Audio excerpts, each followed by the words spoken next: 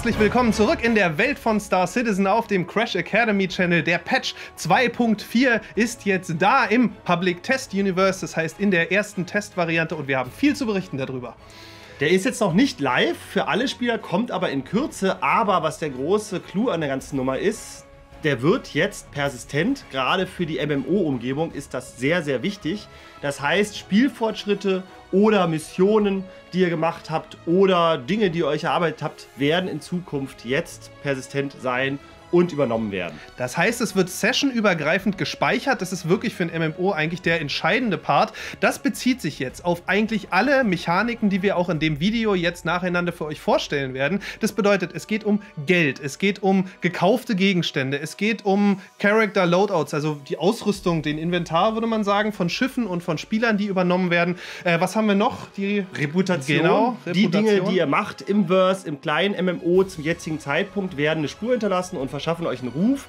Auch das wird jetzt persistent werden oder sein schon. Äh, und damit habt ihr dann Möglichkeiten, zum Beispiel später für Leute zu arbeiten oder als böse Outlaws bekannt zu werden. So ist es. Außerdem werden die Module, die das Spiel jetzt schon hat, untereinander synchronisiert. Das heißt, was im Hangar passiert, wird man dann unter Umständen auch direkt bei Crusade, in Crusader merken, also im Persistent Universe. Und in A-Corp, was man dort einkauft, wird man auch später woanders reintragen können. Und apropos Einkaufen, da kommen wir eigentlich zum nächsten wichtigen Punkt und das ist das Shopping, was es jetzt gibt. Das Shopping-System ist nämlich jetzt schon auf dem Weg ins Spiel integriert zu werden. Das heißt, mit diesem Update jetzt können wir in den Stores Sachen kaufen, die dann in anderen Modulen äh, benutzt werden können. Sprich, in ArpCorp zum Beispiel oder in Crusader haben Geschäfte aufgemacht und ich muss jetzt nicht mehr Items auf der RSI-Seite selber kaufen. Das ist ein ganz wichtiger Punkt, denn mit einer Alpha-Währung, wie es sie jetzt gibt, kann ich das im Spiel verdienen und kann dann zum Beispiel in die zwei aktuell offenen Shops in Arcorp gehen. Also ein Waffengeschäft gibt es dort und dann eben den Kasaba Outlet Store, also ein Kleidungsgeschäft.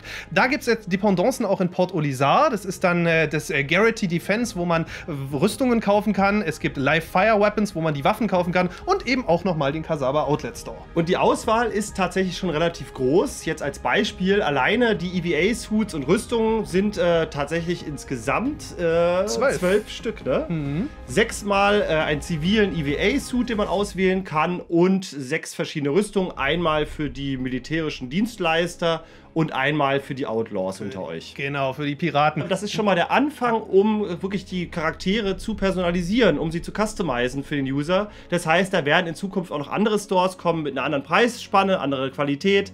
Da haben wir jetzt schon mal einen kleinen Anfang gemacht. Auch das ist schon drin äh, und das ist eigentlich ganz spannend. Ja, total. Außerdem müsst ihr jetzt Dienstleistungen bezahlen im Spiel. Das heißt, wenn euer Schiff repariert werden soll, wenn es aufmunitioniert werden soll, wenn es Treibstoff benötigt, all das könnt ihr jetzt weiterhin machen, aber es ist nicht mehr kostenlos, sondern ihr müsst es tatsächlich bei den jeweiligen CryAstro Reparatur- und Service Stations bezahlen. Und außerdem ist nicht mehr kostenlos. Das Sterben kostet jetzt auch Geld. äh, Achtung Leute, natürlich ist es so, wenn ihr respawnt, müsst ihr dafür eine kleine Gebühr Gebühr zahlen. Aber wenn ihr gar kein Geld mehr habt, wenn ihr pleite seid, könnt ihr trotzdem respawnen. Dafür ist es eben noch eine Alpha-Version. Das heißt, man soll jetzt die Spieler nicht davon abhalten, das Spiel zu testen und weiterhin auszubauen. Ja, weiter geht's. Für alle Leute, kleiner Tipp, die jetzt nicht genug Geld am Anfang haben, die können natürlich auch ganz viel looten gehen, weil da liegt auch ziemlich viel rum zurzeit im Crusader. Insbesondere in Jela als kleiner Tipp für euch. Schaut euch mal da um. Wir gehen noch mal eine Kategorie weiter und das ist das Reputationssystem, was jetzt im Spiel auch großteilig ausgebaut wurde. Ja, wie haben wir das genannt? der wilde Westen äh, in, in, in, Space sozusagen, weil äh, tatsächlich kann man hier als Contractor arbeiten für einen Sicherheitsdienst, ist eine Art Hilfs-Sheriff oder man ist ein Gesetzesloser. Die Welt ist sehr, sehr gefährlich und es gibt keine lückenlose Überwachung des ganzen MMOs.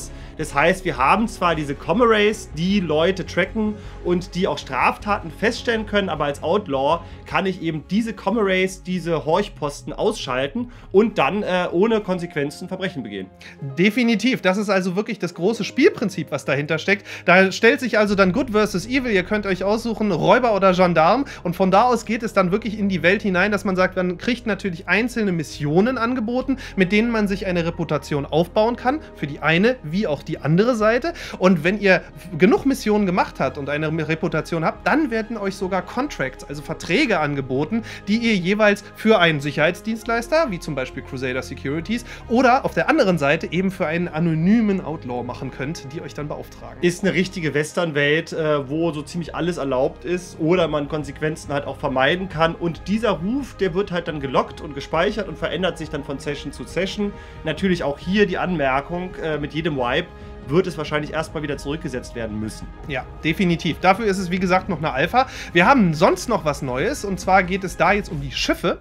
Ja, und da sind äh, zwei richtig große Klopper mit ins Spiel gekommen, ne? könnte man so sagen. Die Starfarer und die Starfarer Gemini sind beide jetzt flight ready und mit 90 Metern tatsächlich die größten flugfähigen Schiffe, die zurzeit im Spiel äh, vorhanden sind. Wir haben hier schon fünf Plätze auf der Brücke, wir haben drei Türme, wir haben einen riesigen Laderaum. Diese beiden Pötte sind jetzt flugfähig und ja, es ist ein ganz anderes Fluggefühl, als mit einem Jäger durch, durch das Verse zu düsen. Definitiv, zumal man sich wirklich im Flug dann durch das ganze Schiff bewegen kann und äh, sich wirklich rausgucken kann an jeder Seite und Ecke. Ganz, ganz große Sache. Außerdem im Spiel angekommen ist ein Einsteigerschiff und zwar die Reliant. Das ist ein zweisitziges Tier 2 Einsteigerschiff, also das heißt eine Tierklasse höher als die anderen Einsteigerschiffe. Sieht ganz schick aus, ne? Sieht sehr, sehr schick aus. Modernes äh, Design, würde ich sagen. Äh, ist nicht so klobig wie manches andere Schiff. Wird bestimmt sehr, sehr spannend sein.